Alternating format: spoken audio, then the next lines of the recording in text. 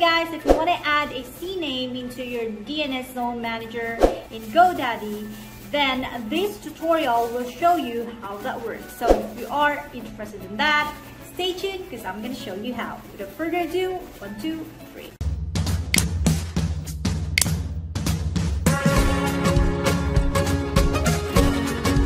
First is, of course, you need to log into the GoDaddy and go into the My Products. So under the My Products, basically you can see um, the domain section and then like there are some options here like website and marketing, web hosting, and so on and so forth. So let's just touch the domain section.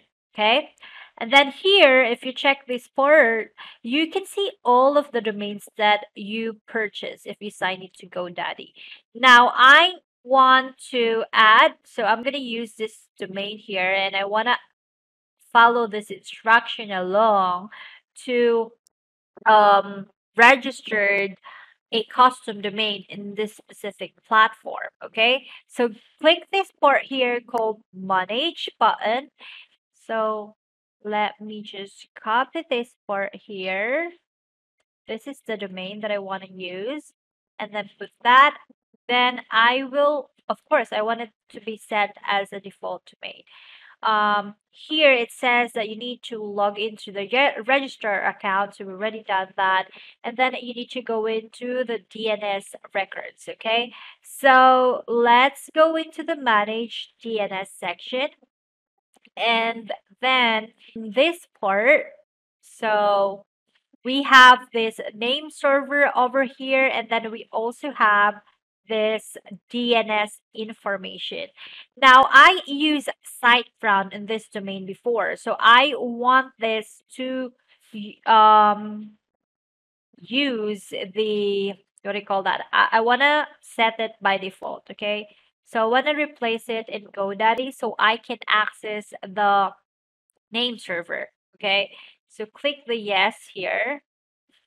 Because normally you can, if you haven't touched anything yet into your domain, your no, name server should be the GoDaddy server. Okay. Now after I, so an available, I probably need to, okay. So I already set the name server to GoDaddy and I can now access the records because it's ready a GoDaddy name server. Now let's follow this instruction over here. So it says that you need to add A records to your website. So to add an A records, so click this add and you select the A records and then what would be the host? So the host would be this one. So, sorry, the host would be this one. So you click this one, and then first is what would be like your host, the name of your host. So you can put that or point that into this IP, and then you choose this dollar sign to have. It means basically a you are selecting your website. Okay, so if you click that's what that one, Oh, that's how you can add an A server. The other thing as well is how you can put in a C name. So they they provided us as a two option to do it. Um, for the C name, I mean you don't need to put everything. Like I'm just ask I'm just telling you with you how you can add a C name. So to add a C name, since our our tutorial is about the C name, let me just delete this one here. Lead. Let's add a CNAME. So click the, I, I need to remove this one. So remove first. So let's just remove that first. Okay, click that and then type in CNAME and then the host would be www and then this pointing to that CNAME. We could use one RTTL. Please and um, just type in asterisk. Let's do that. We have that.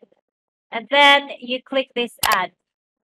LearnWorld is always my recommendation to my clients every time they want to create an online courses. You can use the link below to get a 30 days free trial and see to create for you. I also have tutorials about LearnWorld, so check out my description or I'm gonna put it in here to see some of my tutorials in LearnWorlds. I tell you, there's a lot of features in Learn LearnWorlds that could be really helpful for your marketing strategy.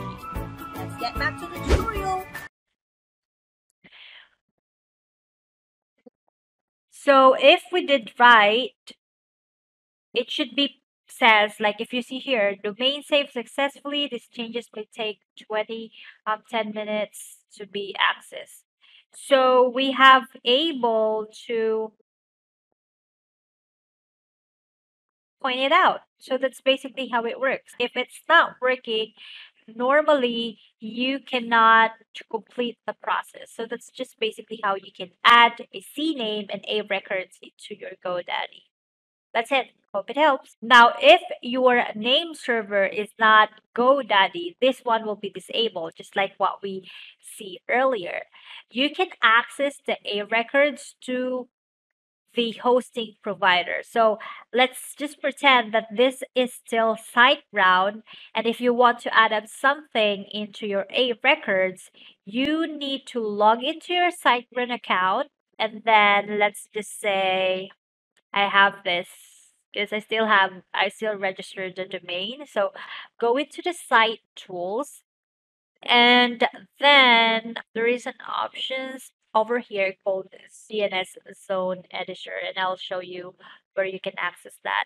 So Control K, or you click this um search thing in here, and then type in DNS Zone Editor, this one.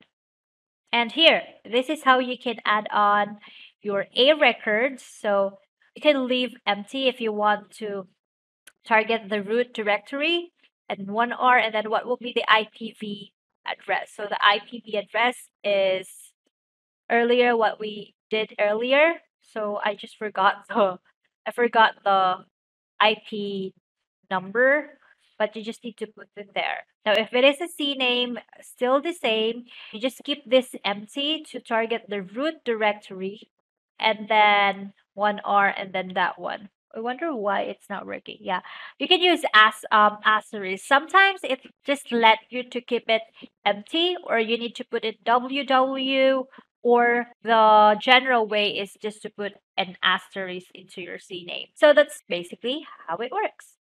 Thank you.